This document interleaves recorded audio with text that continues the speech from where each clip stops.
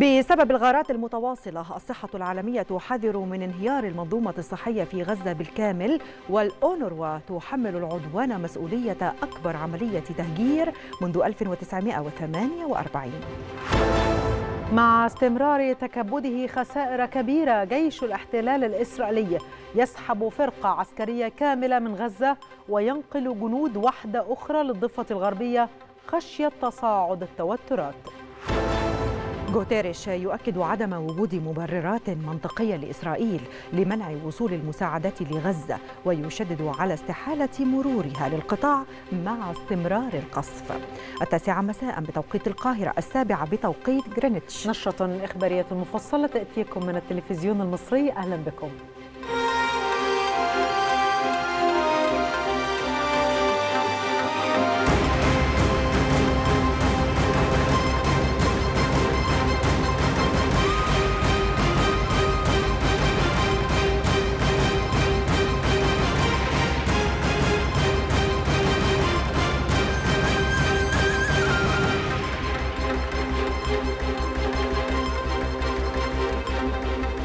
أهلا بحضراتكم. أكثر من 100 يوم مرت على العدوان الإسرائيلي على قطاع غزة. استشهد خلالها أكثر من 24 ألف شهيد و60 ألف مصاب وأكثر من 8 ألاف مفقود فضلا عن تدمير واسع في الممتلكات والبنية التحتية. أكثر من 100 يوم أبهر خلالها الشعب الفلسطيني العالم بصموده وصلابته أمام بطش الاحتلال في ظل قصف غير منقطع برا وجوا وبحرا على قطاع غزة.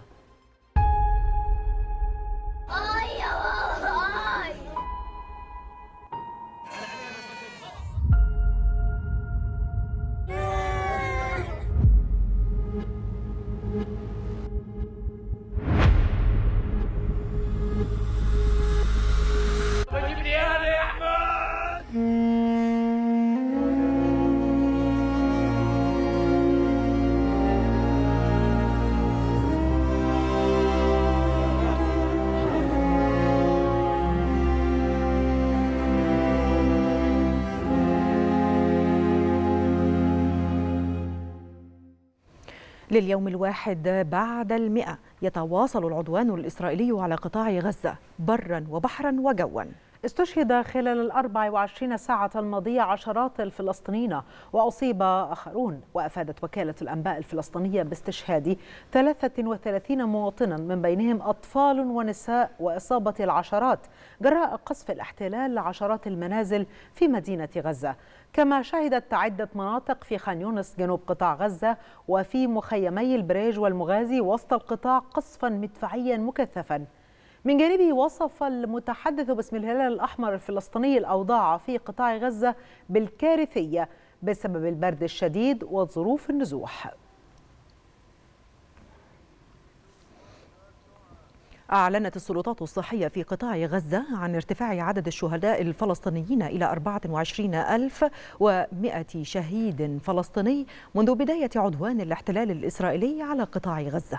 وأوضحت السلطات الصحية أن عدد الإصابات ارتفع إلى 60834 فلسطينيا مشيرة إلى أن نحو 132 فلسطينيا استشهدوا وأصيب 252 آخرين خلال ال 24 ساعة الماضية.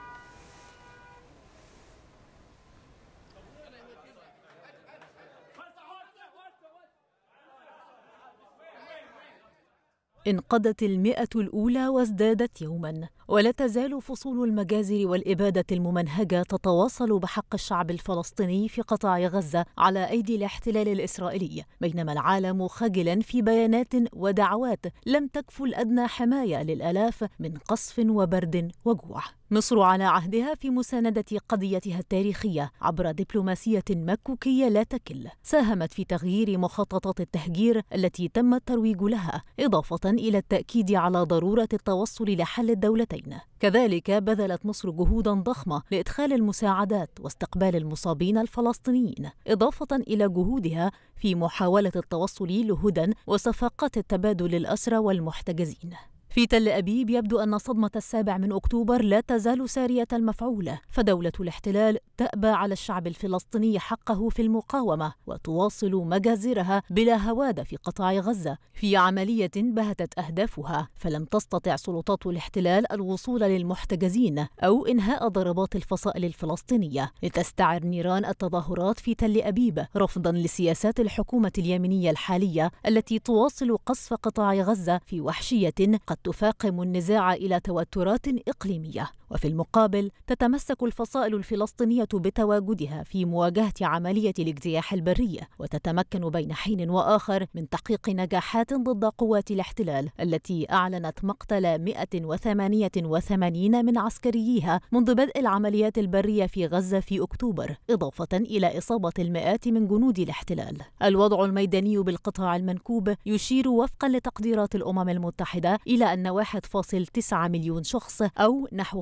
85% من السكان اضطروا إلى مغادرة منازلهم ويلجأ كثيرون إلى رفح أو إلى مناطق أخرى في جنوب هذه المنطقة الصغيرة بينما تكرر وزارة الصحة غيابا من التحتية الكافية لاستيعاب النازحين. رغم مرور المئة يوم الأولى إلا أن أفق الحل لا تزال ضبابية. وسط تحركات ضعيفة للقوى الكبرى التي تسيطر عليها أجنداتها الخاصة بينما كانت تحركات شعوب العالم أكثر ضراوة عبر خروجها بمئات التظاهرات مطالبة بوقف هذه الحرب التي تعد جرحا غائرا في ضمير الإنسانية.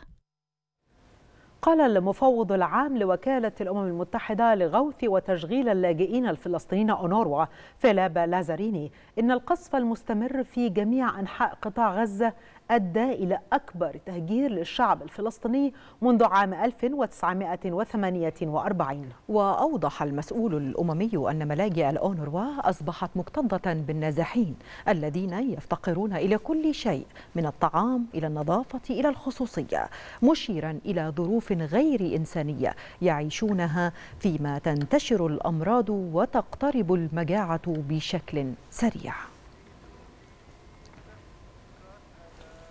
أكد مدير منظمة الصحة العالمية لإقليم شرق المتوسط أحمد المنظري أن النظام الصحي في قطاع غزة يقف على شفا الهوية مع تواصل العدوان الإسرائيلي على القطاع على مدار 100 يوم.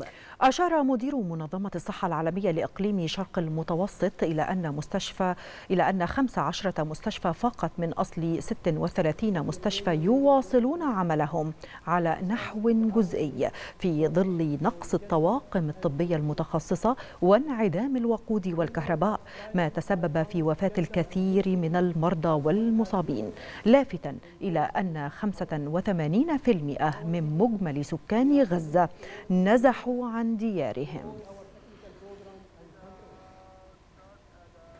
هذا وتخوض الفصائل الفلسطينية اشتباكات عنيفة مع قوات الاحتلال المتوغلة في محاور قطاع غزة. وأعلنت حركة حماس عن استهدافها لجرافة إسرائيلية بقذيفة الياسين 105 بمدينة خان يونس جنوب القطاع فضلا عن تمكنها من استهداف قوات راجلة شرق مخيم البريج وبمدينة خان يونس. كما أعلنت حركة حماس عن مقتل اثنين من المحتجزين الإسرائيليين اليوم في قصف لقوات الاحتلال على قطاع غزة. في المقابل أعلن جيش الاحتلال عن إصابة 18 ضابطا وجنديا في معارك قطاع غزة خلال الساعات الأربع والعشرين الماضية. أعلنت إذاعة الجيش الإسرائيلي عن انسحاب الفرقة السادسة والثلاثين من داخل مدن ومحافظات قطاع غزة. تضم الفرقة 36 ألوية جولاني والسادس و188 وسلاح هندسة ومن المقرر أن تبقى في القطاع ثلاث فرق فقط. هي الفرقة 99 وال162 و98 يأتي الانسحاب الجزئي للقوات الإسرائيلية بعد 100 يوم من الحرب على القطاع. هاجم خلالها 30 ألف هدف في غزة.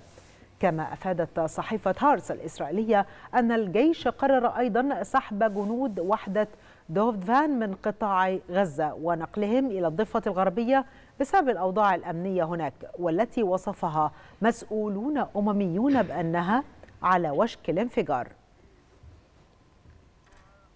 قتلت إسرائيلية وأصيب 18 إسرائيليا آخرين من بينهم حالات حرجة في عملية مزدوجة. ووقعت في بلدة رعنانة بالقرب من تل أبيب في الداخل الفلسطيني المحتل. أوضحت شرطة الاحتلال أن العملية وقعت في ثلاث أماكن مختلفة من رعنانة مشيرة إلى أنها تمكنت من اعتقال منفذي العملية بعد مطاردتهما وأكدت أنهما من بلدة بني نعيم شمال الخليل جنوب الضفة الغربية. وأكدت الشرطة أن 13 أصيبوا في عملية الدهس بينما أصيب ستة آخرون في عمليات طعن.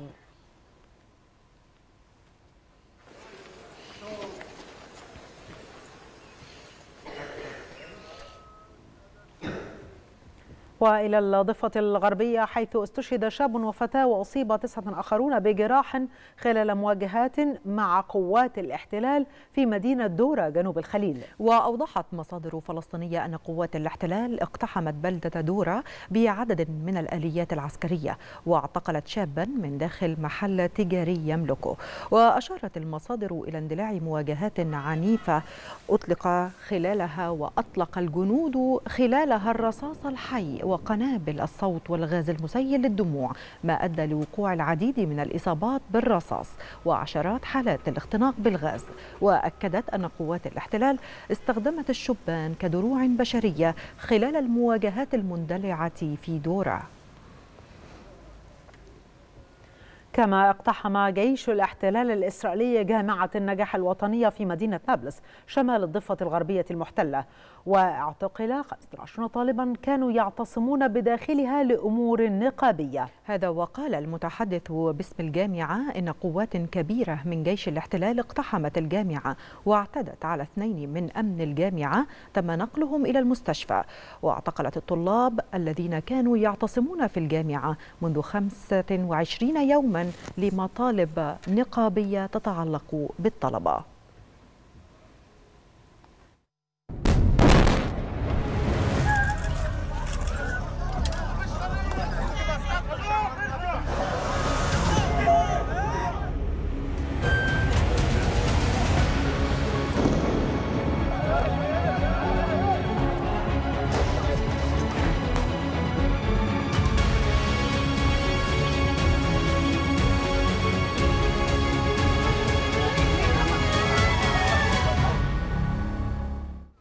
أكد رئيس الوزراء الفلسطيني محمد أشتية ضرورة صدور قرار عاجل من محكمة العدل الدولية لوقف العدوان الإسرائيلي المتواصل لليوم المئة وواحد على قطاع غزة.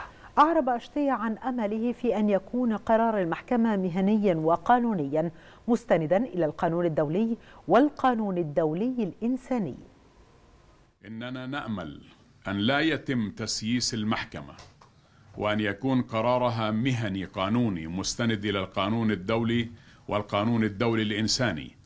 ومع إدراكنا أنه سيتم استبدال القضاة مع نهاية هذا الشهر فإننا نأمل أن يكون القرار الأولي حول وقف العدوان قبل ذلك. من جانب آخر إنني آمل أن يتم السماح للصحافة الدولية من الوصول إلى داخل قطاع غزة ليتم توثيق الجرائم التي ترتكب هناك. إسرائيل تمنع الصحافة الدولية من الوصول. كما أطلب من الصليب الأحمر ممارسة كل ضغط ممكن للوصول إلى الأسرى الذين تحتجزهم إسرائيل في أماكن غير معلومة وقد توفي البعض منهم والتصريح علنا حول أوضاعهم. قال رئيس تشيلي جابرييل بوريك إن الوضع في قطاع غزة حاليا أسوأ مما كان عليه في برلين الألمانية عام 1945 وأكد بوريك ضرورة الوقف الفوري لإطلاق النار في قطاع غزة مشيرا إلى حجم الدمار الذي لاحق بالمنازل في غزة وتشريد أكثر من مليون وتسعمائة ألف شخص فضلا عن نفاذ المواد الغذائية. وفيما يخص الدعوى التي رفعتها جنوب إفريقيا ضد إسرائيل في محكمة العدل الدولية. أكد بوريك دعمه للدعوى المرفوعة ضد إسرائيل مشددا على أن بلاده ستقوم بما يقع على عاتقها في هذا الخصوص.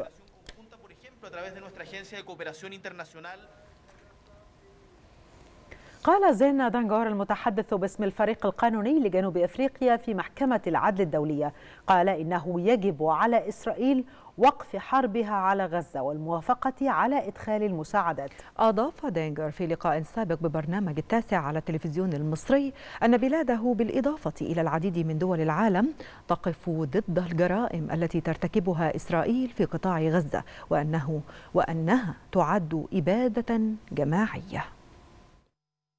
نحن أوضحنا أوضحنا قضيتنا أنها أننا ندافع ضد الجرائم الإبادة الجماعية في غزة. تدمير المنازل قتل الأنفس العيادات المستشفيات. وكل البنى كل البنى التحتية المدنية. وجمعنا كل هذا في وجمعنا كل هذا في حوالي في ملزمة وقلنا أن حوالي 24 ألف طفل تم قتلهم وكل هذا يشمل أو يتضمن تحت مسمى الإبادة الجماعية. والمبيت بالنية من قبل.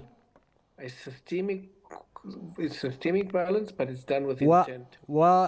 وقضينا أن أو طلبنا أن يقضى في هذا الأمر بشكل ممنهج. وقلنا أن رئيس الوزراء نتنياهو وأن باقي أعضاء الحكومة يجب يجب أن يوقفوا هذا وأنهم مجرمي حرب وأنهم متهمون بالإبادة الجماعية. نظمت نقابة الصحفيين يوم التضامن مع الشعب الفلسطيني في ذكرى مرور 100 يوم على العدوان الإسرائيلي. يأتي ذلك تحت عنوان 100 يوم من العدوان أوقفوا الحرب. حاكم مجرمي الحرب حيث أكد نقيب الصحفيين خالد البلشي أن الوقفة التضامنية تأتي لرصد حجم الجريمة التي ارتكبت بحق الفلسطينيين ولدعم الجهود الدولية وعلى رأسها دولة جنوب إفريقيا والتي غيرت الموقف من القضية الفلسطينية على الساحة الدولية. النهارده يوم لإحياء 100 يوم من على جريمة الإبادة اللي بترتكب بحق الشعب الفلسطيني. النهارده هيبقى في أكتر من فعاليه منها جزء فعالية لتكريم الصحفيين الشهداء. وكلمه من نقابه الصحفيين حوالين الصحفيين الشهداء إحنا عندنا أكثر من 107 صحفي وعامل في مجال الإعلام استشهدوا خلال الحرب وفي جريمة ربما هي الأكبر في تاريخ الإعلام في العالم. كمان عندنا كلام عن كيفية دعم جهود المحاكمات الدولية اللي هي بحق مجرمي الحرب الصهاينة بشكل أو ومعاونيهم. يعني موقف شديد الاحترام قدمته نقابة الصحفيين المصريين وهذا الموقف هو الموقف المتماهي مع المواطن المصري مع رجل الشارع مع مصر الرسمية الكبيرة المساندة دوما لحقوق الشعب الفلسطيني الصامد على أرضه والمنصفه أيضا لدماء عشرات الآلاف من الشهداء الذين قضوا وهم صامدون على أرضهم في فلسطين.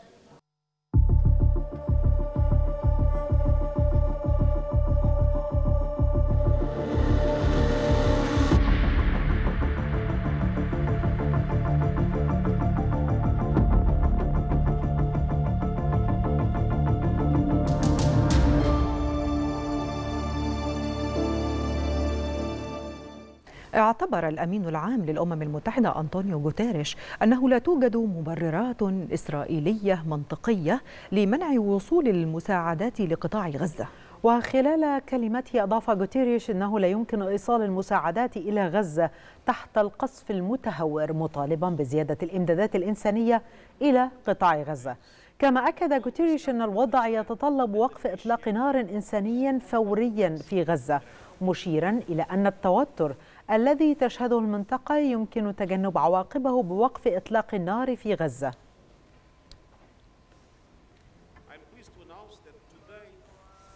أكدت وكالات الأمم المتحدة أن هناك حاجة ماسة إلى تغيير جذري في تدفق المساعدات الإنسانية إلى قطاع غزة مع تزايد خطر المجاعة وتعرض الكثيرين للمزيد من الأمراض. وقال رؤساء برنامج الأغذية العالمي ومنظمة الأمم المتحدة للطفولة يونيسف ومنظمة الصحة العالمية إن إيصال الإمدادات الكافية إلى غزة يعتمد الآن على فتح مزيد من المعابر الحدودية والسماح لأكبر عدد من الشاحنات بالمرور عبر نقاط التفتيش الحدودية يوميا. وكذا الحد من القيود المفروضة على حرية حركة العاملين في مجال تقديم المساعدة الإنسانية. يواصل معبر رفح البري فتح أبوابه أمام دخول المساعدات الإنسانية إلى قطاع غزة وخروج المصابين الفلسطينيين ورعايا الدول الأجنبية. وتستعد أكثر من 90 شاحنة للدخول إلى قطاع غزة عبر المعبر. من بينها شاحنتان تحملان كمية من غاز الطهي الخاص بالمنازل وأربع شاحنات وقود حيث بلغ عدد الشاحنات التي دخلت إلى قطاع غزة عبر معبر رفح منذ بدء العدوان نحو تسعة ألاف شاحنة تحمل عشرات الألاف من أطنان المساعدات والوقود إلى أهالي القطاع. ويواصل مطار العريش استقبال المساعدات الإنسانية من الدول الصديقة والشقيقة والمنظمات الدولية والإقليمية تمهيدا لإدخالها إلى قطاع غزة عبر معبر رفح البري هذا واستقبل المطار اليوم طائرة مساعدات كويتية تحمل 40 طنا من المساعدات فضلا عن ثلاث سيارات إسعاف مجهزة لأهل قطاع غزة. هذا وبلغ إجمالي عدد الطائرات التي وصلت إلى مطار العريش منذ الثاني عشر من أكتوبر الماضي ما يقرب من 486 طائرة من بينها ما يقرب من 395 طائرة حملت أكثر من 13 ألف طن من المساعدات المتنوعة ومواد الإغاثة إلى قطاع غزة وهي مقدمة من خمسين دولة عربية وأجنبية ومنظمة إقليمية ودولية بجانب 91 طائرة حملت وفودا رسمية وتضامنية عربية ودولية.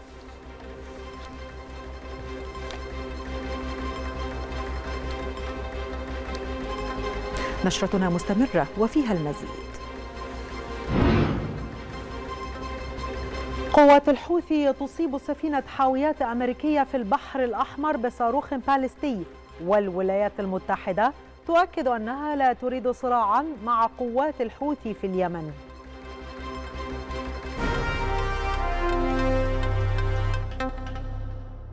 أعلنت قوات الحوثي تنفيذ عملية عسكرية استهدفت سفينة أمريكية في خليج عدن مضيفة أنها تعتبر كافة السفن والقطع الحربية الأمريكية والبريطانية المشاركة في العدوان على بلدها أهدافا معادية.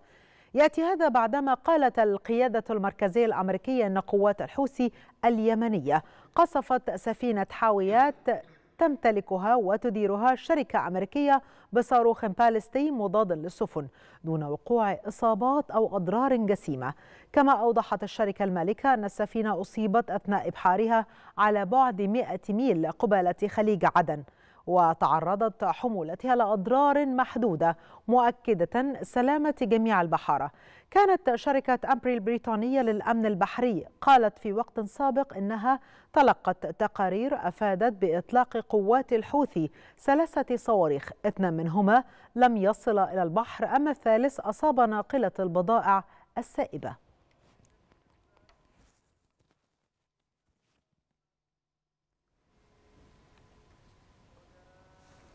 أكد منسق الاتصالات الاستراتيجية في مجلس الأمن القومي الأمريكي جون كيربي أن الولايات المتحدة لا تريد صراعا مع قوات الحوثي في اليمن.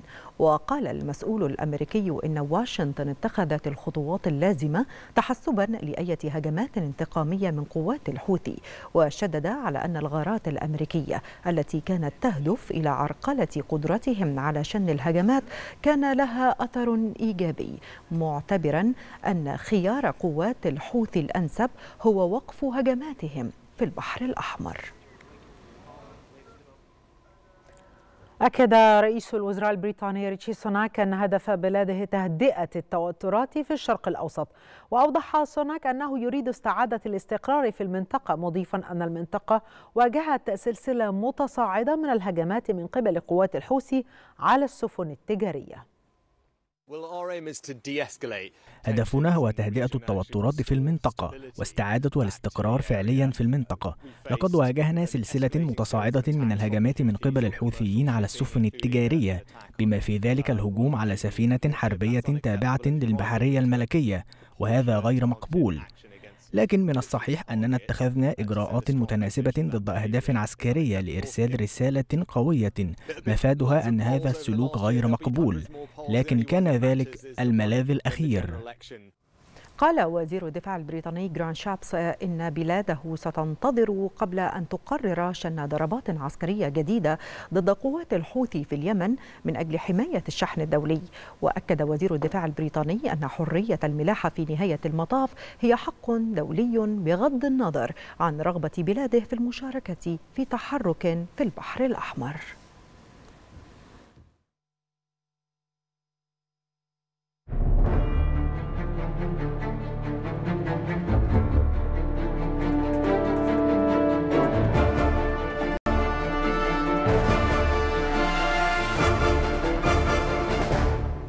أعلنت وزارة الدفاع الروسية أن أوكرانيا نفذت هجوما صاروخيا على منطقة كورسك الروسية. وأوضحت الدفاع الروسية أن أنظمة الدفاع الجوي دمرت ثلاثة صواريخ من طراز توشكا يو. أطلقها أو أطلقتها أوكرانيا فوق منطقة كورسك جنوب غرب روسيا دون الإعلان عن وقوع أضرار أو إصابات جراء الهجوم. وصواريخ توشكا يو هي صواريخ باليستية تكتيكية قصيرة. المدى.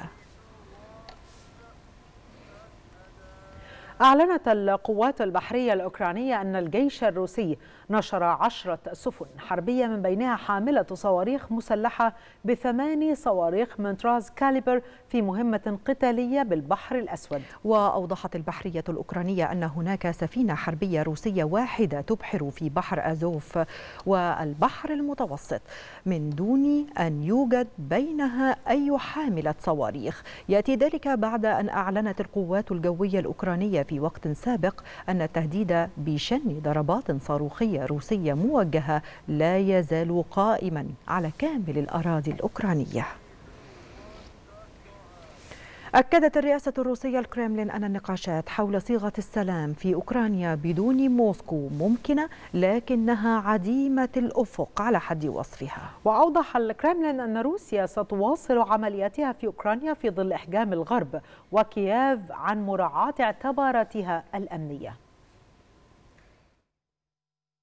السنوية الثانية لبدء العملية العسكرية قدمت أوكرانيا صيغة سلام لإنهاء الصراع الدائر مع روسيا وتحقيق سلام عادل ودائم في المنطقة. خلال اجتماع لمستشاري الأمن القومي من أنحاء العالم في دافوس ناقش المشاركون مقترح الرئيس الأوكراني فلوديمير زيلينسكي الذي يتضمن عشر نقاط تهدف إلى تحقيق السلام في البلاد. محادثات السلام التي تحتضنها سويسرا على هامش أعمال منتدى دافوس العالمي تهدف إلى وضع لمسات النهائية النهائية على الصيغة المبدئية للسلام في أوكرانيا لتشكل أساسا المراحل المقبلة من عملية السلام. محاولات التوصل لحل سلمي للأزمة الأوكرانية لن تجد لها سبيلا للتنفيذ ما لم يجد القائمون عليها أرضا مشتركة تسمح بانضمام روسيا للمفاوضات. وذلك وفق ما أكده وزير الخارجية السويسري إغنازيو كاسيس. آمال كبيرة وضعتها أوكرانيا على دول جنوب العالم ودورها في دعم صيغة السلام وتغيير موقفها المحايد من الوضع الراهن في البلاد. وعلى الصعيد الميداني اعترضت روسيا ثلاث صواريخ أوكرانية كانت تستهدف مقاطعة كورسك الروسية القريبة من الحدود مع أوكرانيا. كما تم اعتراض 17 صاروخا لراجمات هيمرس وأورجان وإسقاط 23 طائرة مسيرة أوكرانية في مناطق متفرقة. ناشدت الأمم المتحدة وشركاؤها الجهات المانحة بتقديم 4.2 مليار دولار لدعم المناطق التي مزقتها الحرب في أوكرانيا وكذلك اللاجئين الأوكرانيين عام 2024 وقال منسق الشؤون الإنسانية بالأمم المتحدة مارتن جريفيث إن مئات الأطفال يعيشون في حالة رعب وصدمة وحرمان من احتياجاتهم الأساسية في مناطق على الخطوط الأمامية للحرب داعيا لتقديم مساعدات إنسانية إضافية إلى أوكرانيا.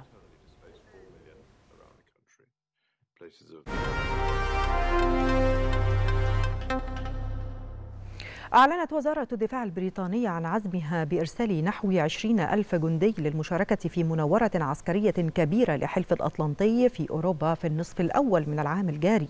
وقال وزير الدفاع البريطاني جران شابس قال إن لندن سترسل نحو 20 ألف جندي للمشاركة في واحدة من أكبر عمليات الانتشار لحلف الناتو منذ نهاية الحرب الباردة.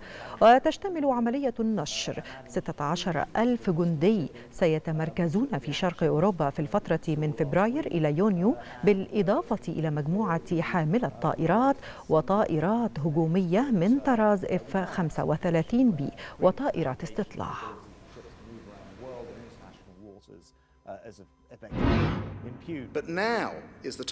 حان الوقت لجميع الدول الحليفة والديمقراطية في جميع أنحاء العالم لضمان نمو إنفاقها الدفاعي.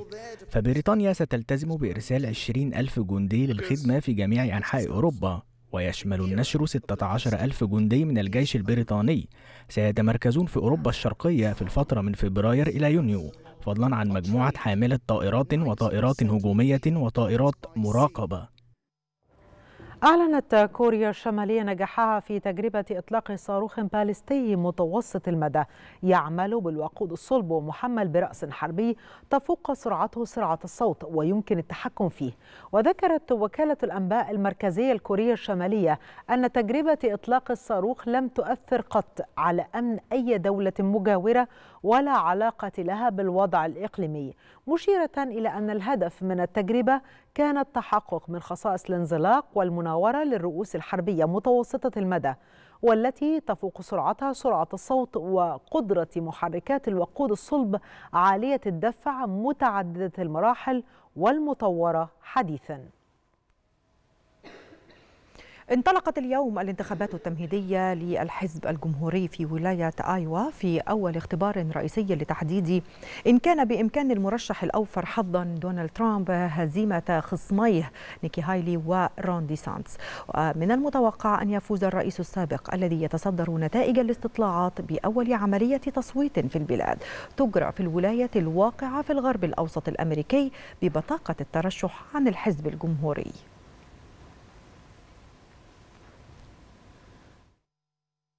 تعد ولاية آيوا نقطة انطلاق الانتخابات التمهيدية للحزب الجمهوري. ما يمنحها منذ نصف قرن وزنا كبيرا في حملة الانتخابات الرئاسية الأمريكية قبل وصول ماراثون الانتخابات إلى نقطة النهاية نوفمبر المقبل. استطلاعات الرأي تمنح الرئيس السابق دونالد ترامب والساعي للعودة إلى البيت الأبيض أغلبية أصوات الجمهوريين في مواجهة منافسي نيكي هايلي ورون دي سانتس رغم الاتهامات القضائية الموجهة إليها في ولاية آيوا وعدد من الولايات المحافظة الأخرى. يتمتع ترامب بقاعدة جماهيرية كبيرة قادرة على غض الطرف عن مشاكله القضائية. فيما لا يزال الهجوم على مقر الكونغرس قبل ثلاثة أعوام يثير انقساما في الولايات المتحدة. ترامب صاحب السبعة والسبعين عاما أمامه الكثير من الملفات القضائية الأخرى في العام 2024 حيث من المقرر أن يمثل أمام القضاء في واشنطن في الرابع من مارس بتهمة التآمر لإلغاء نتائج الانتخابات في العام 2020 في جورجيا. يأتي ذلك فيما تجرى في اليوم التالي أي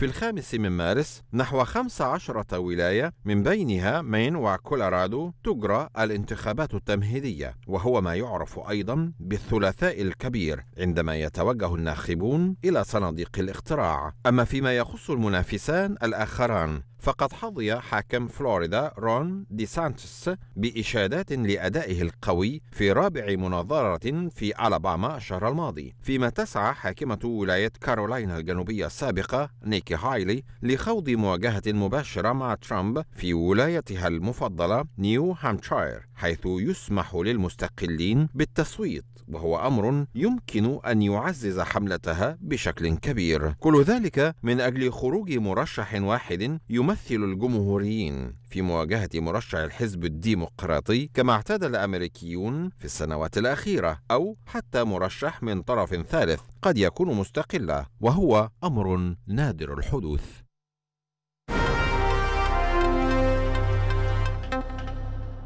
أكد رئيس الوزراء مصطفى مدبولي ضرورة الاستعانة بشركات القطاع الخاص في إدارة وتشغيل المطارات لتحسين الخدمات وزيادة الإيرادات. جاء ذلك خلال اجتماع عقده مدبولي لاستعراض استراتيجية تطوير المطارات المصرية حيث أشار إلى ضرورة مواصلة الجهود المكثفة للنهوض بقطاع الطيران المدني ما يسهم في الارتقاء بوضعيته التنافسية إقليميا وعالميا. وما يتكامل مع عملية التنمية الشاملة بالدولة لا سيما من خلال الاعتماد على الدراسات المنهجية ذات المستوى العالمي للتطوير والتحديث ورفع كفاءة أداء العمل. وافق مجلس النواب من حيث المبدأ على تعديل بعض أحكام قانون الإجراءات الجنائية المتعلقة باستئناف الأحكام الصادرة في الجنايات على أن تؤجل الموافقة النهائية لجلسة الغد. كما وافق المجلس خلال الجلسة العامة على قرار رئيس الجمهورية بشأن اتفاقية تسهيل التصحيح الهيكلي السابع مصر وصندوق النقد العربي.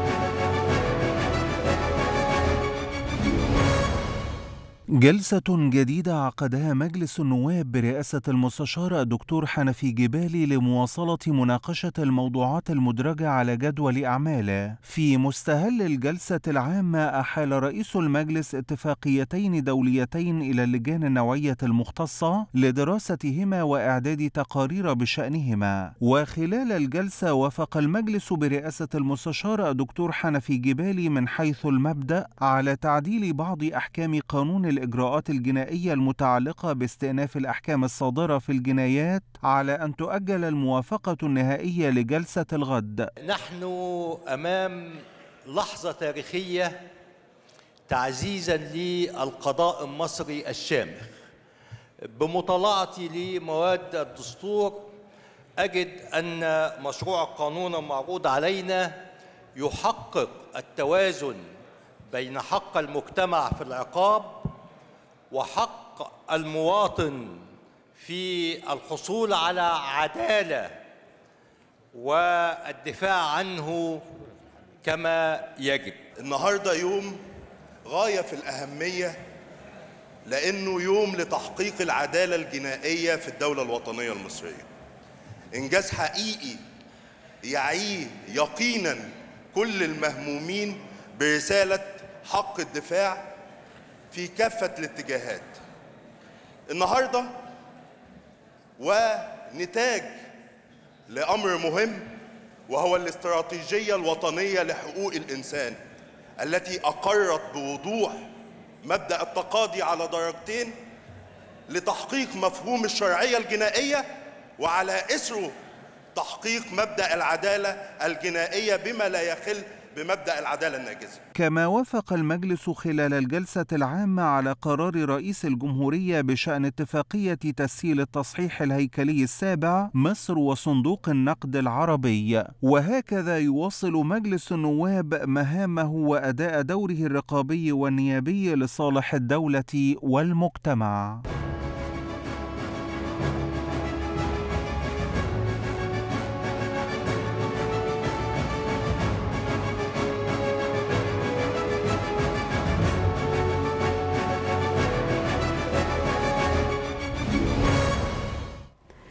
من جانبهم أكد عدد من أعضاء مجلس النواب أن تعديلات أحكام قانون الإجراءات الجنائية تضمن التقاضي على درجتين بدلا من درجة واحدة وحول اتفاقية تسهيل التصحيح الهيكلي السابع بين مصر وصندوق النقد العربي. أكد الأعضاء أن الاتفاقية تتضمن أيضا إصلاح ميزان المدفوعات. تعديل مهم جدا على قانون الإجراءات الجنائية بيضمن الاستئناف على الأحكام الصادرة من الجنايات كان الأول الأحكام المتعلقة بالجنايات دي درجة في التقاضي قبل ما يروح درجة واحدة قبل ما يروح محكمة النقض النهارده بنتكلم عن درجة ثانية اللي هي درجة الاستئناف. ده بيفتح آفاق جديدة في ضمانات المحاكمة المنصفة والعادلة. بيحقق نصوص الدستور المادتين 96 والمادة 240 اللي بتتكلم عن مدة 10 سنوات. ثم يصدر قانون الاستئناف الجنائي الجنايات. النهارده العشر سنين بينتهوا والحكومة بتقدم مشروع القانون اللي بيضمن استئناف الجنايات. حقيقة أنا شايفة إن النهارده يوم عيد. دي حقيقة. يعني لكل المتقاضين والمتهمين إن هو يفرز تعديل يعني مواد القانون الإجراءات الجنائية بيدي فرصة طبعا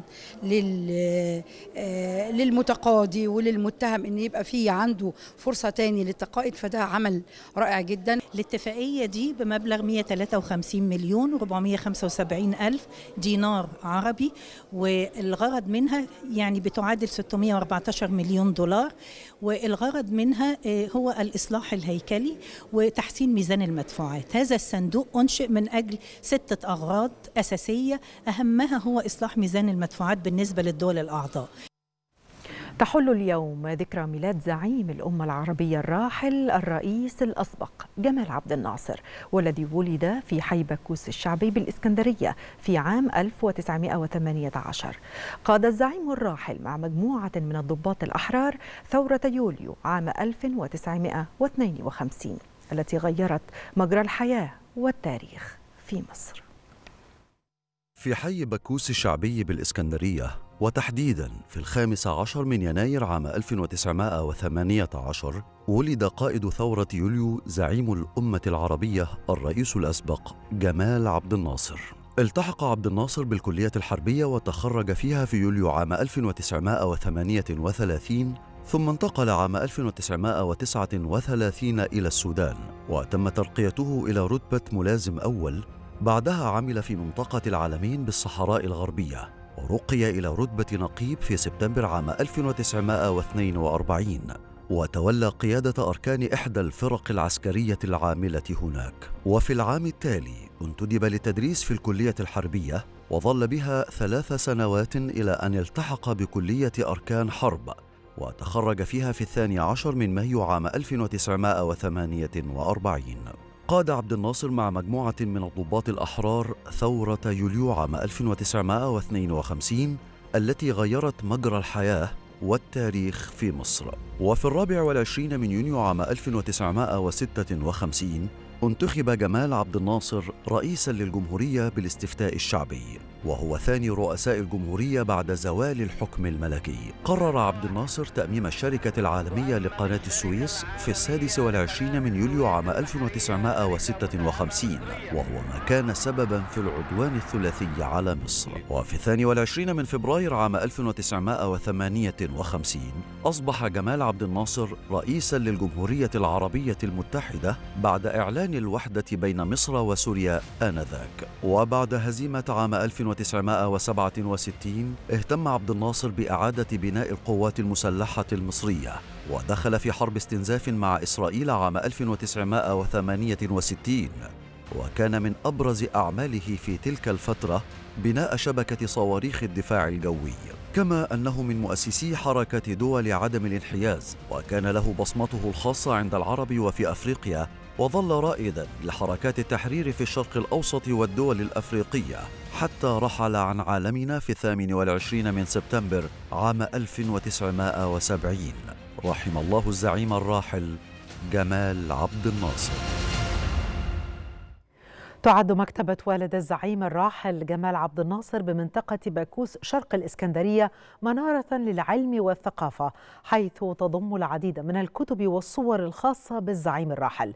تم تحويل منزل والد الزعيم الراحل الذي كان يتبع مركز جمال عبد الناصر الثقافي إلى مكتبة ونقلت تبعيته من قطاع الفنون التشكيلية إلى صندوق التنمية الثقافية. وتمت إعادة بنائه وترميمه بهدف تحويله إلى متحف لمقتنيات الزعيم جمال عبد الناصر ولكن عدم مناسبة المكان لكونه متحفا صدر قرار بتحويله لمكتبة عامة.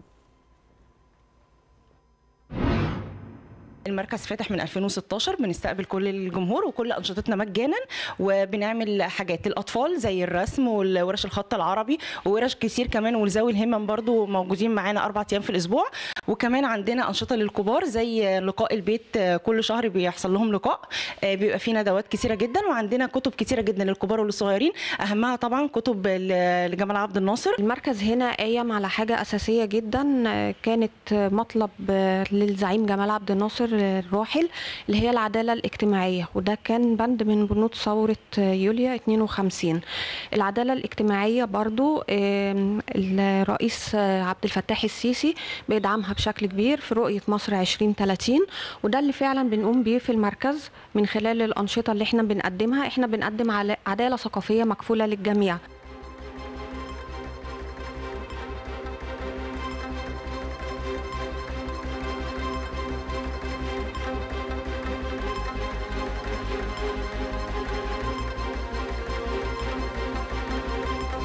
الآن جاء موعدنا مع الوقفة الاقتصادية لنشرة التاسعة. محمد عبد الله جاهز بالتفاصيل. أهلا بك محمد أهلا بك تفضل. نهى وأهلا بك أدا وإلى أخبار اقتصاد محليا وعربيا وعالميا.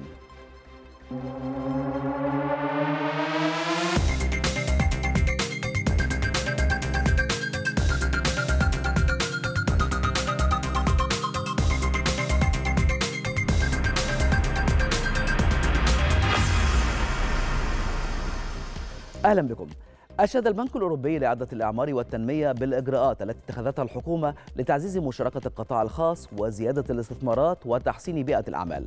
كما أشاد البنك بخطوات مصر في زيادة نسبة الطاقة المتجددة والتحول إلى مركز إقليمي للطاقة المتجددة وإطلاق المنصة الوطنية لبرنامج نوفي محور الارتباط بين مشروعات المياه والغذاء والطاقة.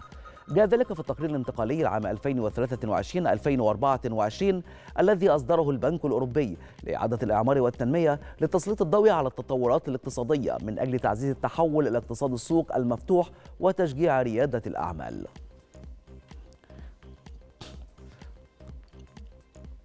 تنفيذا لتوجيهات الدولة في المجالات التكنولوجية. تم توقيع عدد من الاتفاقيات للتعاون والتنسيق في مجال التدريب بقطاع الاتصالات وتكنولوجيا المعلومات مع مركز تدريب محافظة أسيوط وجامعة أسيوط.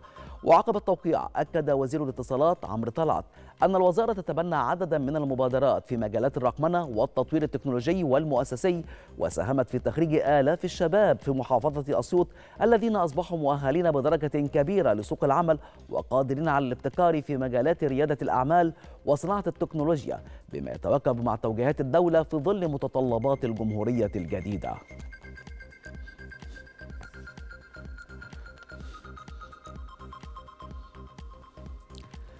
إلى أسواق المال حيث أنهت البورصة تعاملات جلسة اليوم بارتفاع جماعي للمؤشرات مدفوعة بعمليات شراء من المتعاملين الأجانب بينما مالت تعاملات المصريين والعرب للبيع وسط تداولات بلغت 5.3 مليار جنيه.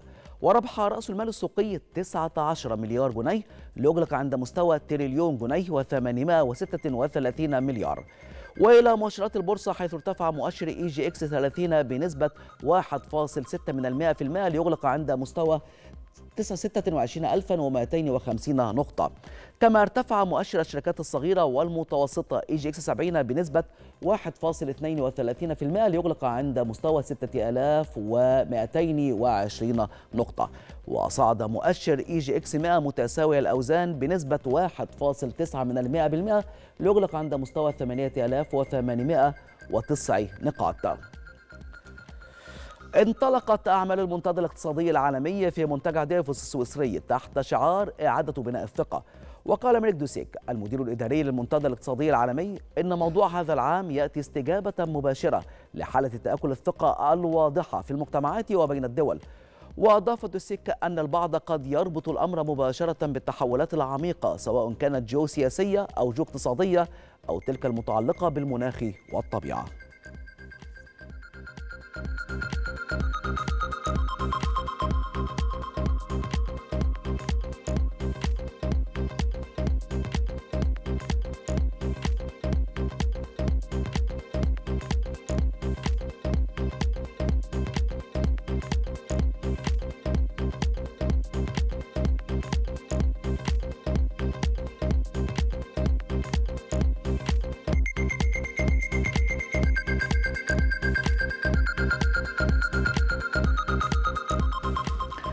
أظهرت بيانات حكومية سعودية أن معدل التضخم السنوي في المملكة تراجع 1.5% في ديسمبر الماضي من 1.7% في الشهر السابق. وأفادت هيئة الإحصاء السعودية أن الإيجارات الفعلية للمساكن ارتفعت 9% في ديسمبر ما أدى لارتفاع مجموعة أسعار السكن والمياه والكهرباء والغاز وأنواع الوقود الأخرى 7.5% وذكرت الهيئة أن معدل التضخم السنوي بلغ 2.3% في 2023 وهو أقل من التقديرات الحكومية بتضخم عند 2.6%. ارتفع إنتاج السيارات في روسيا في عام 2023 بنسبة 6% على أساس سنوي وقال نائب رئيس الوزراء الروسي أنه تم إطلاق أكثر من 720 ألف سيارة من مختلف القطاعات في روسيا وبلغت مبيعات السيارات الجديدة في روسيا العام الماضي 1.3 مليون وحدة وبذلك يكون سوق السيارات الروسية قد نمى في العام الماضي بنسبة تفوق ال 50%.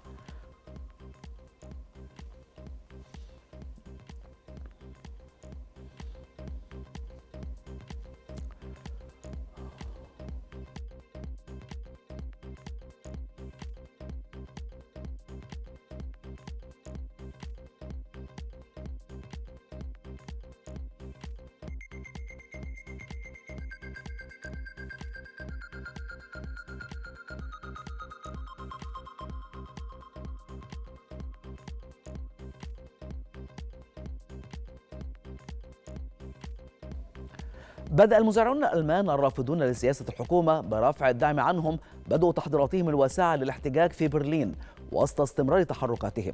وبدأ وصول تجمع الجرارات والحصادات وغيرها من الآليات الزراعية الثقيلة وهي تحمل على هياكلها مختلف أنواع اللافتات للمطالبة بحقوقهم كمزارعين.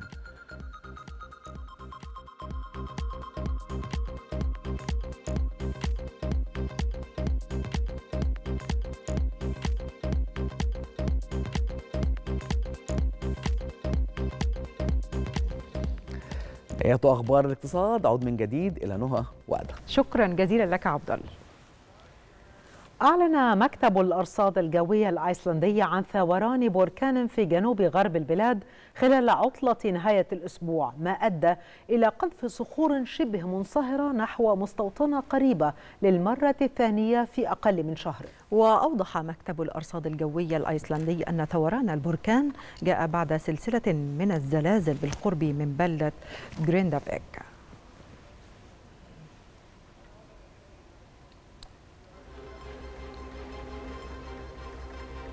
شهدت محافظة بني سويف موسم حصاد محصول البطاطس الحمراء والتي تستخدم في الصناعات الغذائية. تحرص الدولة على توفير كل أوجه الرعاية للفلاحين من خلال توفير الأسمدة المدعمة للأرض والتوعية بأفضل طرق الزراعة الحديثة.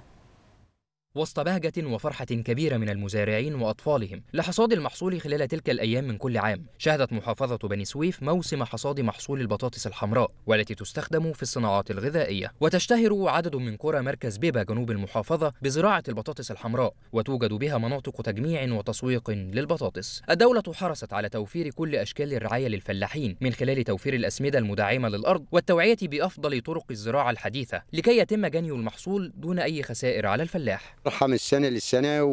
وإحنا بنرزق والعمال كلهم بيرزقوا. وفرحة يعني زرعة البطاطس حلوة مش وحشة. حصاد محصول البطاطس الحمراء. بيكون يوم سعيد لينا والأسرة كلها. يوم بنستناه من السنة للسنة. تعتبر عروة عروة البطاطس دي عروة أساسية وعروة ثابتة من أهم المحاصيل اللي اللي بتدر عائد وربح لدى المزارع المصري يعني. أسعار طن البطاطس الحمراء زادت هذا العام عن السنوات الماضية بفضل دعم الدولة وحرصها على توفير كل الدعم للفلاحين طوال العام ولأي محصول يقوم الفلاح بزراعته. الآن جاء موعدنا مع الأحوال الجوية والطقس إلى محمد عبد الله تفضل شكرا نهى وشكرا أدا إلى أحوال الطقس وأبرز درجات الحرارة المتوقعة غدا إن شاء الله.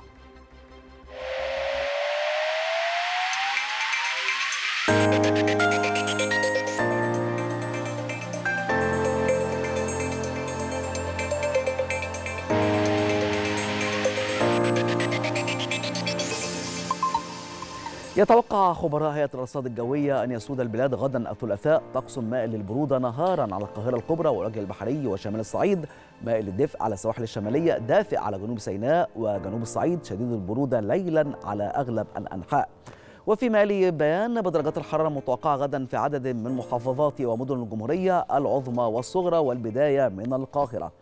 18 11 الإسكندرية 19 11 مطروح 19 9 بورسعيد 20 12 والإسماعيلية 19 11 وإلى السويس 19 11 العريش 20 9 طابة 18 11 شرم الشيخ 24 15 والغردقة 23 14 إلى الأقصر 22 8 أسوان 23 9 الوادي الجديد 20 6 شلاتين 26 16 وحلايب 23 18 والآن نستعرض معكم درجات الحرارة المتوقعة غدا في عدد من العواصم والمدن العربية والعالمية.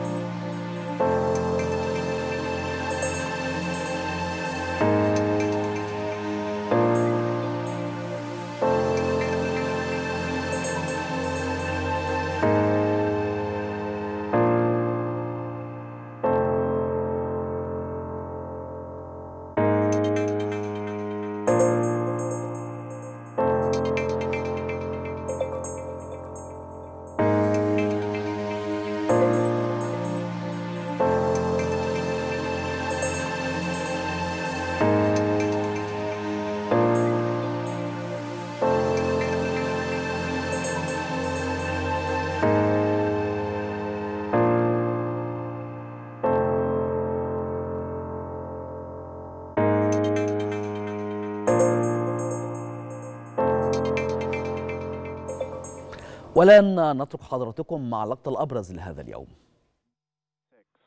Five, four, three, two, one, ignition. And liftoff. Falcon 9, go Starlink, go SpaceX.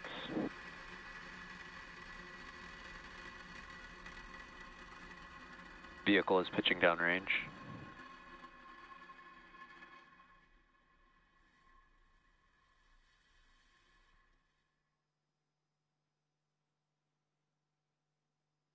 Nominal MOD team burgers. Stage separation confirmed.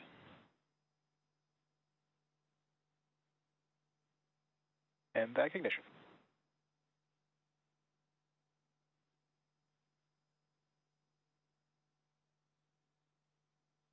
Stage 2 FTS is saved. Deploy.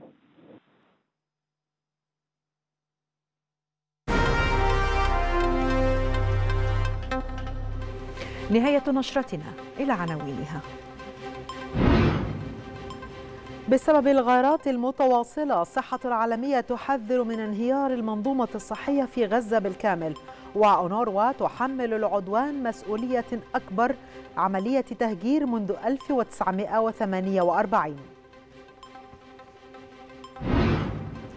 مع استمرار تكبده خسائر كبيرة جيش الاحتلال الإسرائيلي يسحب فرقة عسكرية كاملة من غزة وينقل جنود وحدة أخرى للضفة الغربية خشية تصاعد التوترات.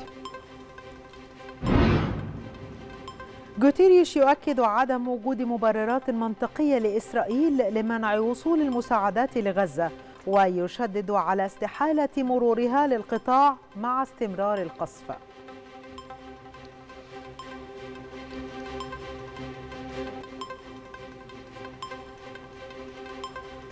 مشاهدينا الكرام انتهت أخبار التاسعة لكن التاسعة لا تزال مستمرة. مع حضراتكم ويوسف الحسيني. مساء الخير يوسف. ازيك يا ادى ازيك يا نهى؟ عاملين إيه؟ الخير. أخباركم إيه؟ كله تمام؟ تمام بقى الحمد كل اللي مصر بتعمله ده علشان خاطر اهالينا في فلسطين ولأجل القضية.